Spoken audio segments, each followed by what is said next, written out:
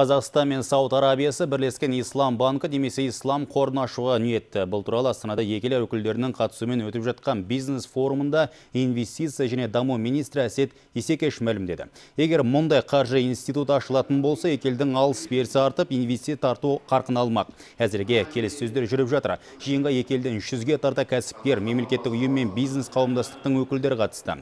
Меймандардың көшін Сауд Арабия корольдігінің сауд және индустрия министрі Тауфик Аль Рабия бастады. Мұнай, химия, құрылыс, фармацевтика, азық түлік өнеркәсібі мен ауыл шаруашылығы саласындағы ықпалдастық сөз болды. Айта кетейік, соңғы 9 жылда бұл мемлекеттен 85 миллиард доллар инвестиция тартылды. Өткен жыл өзара тауар айналым 13 миллиард доллардан асты.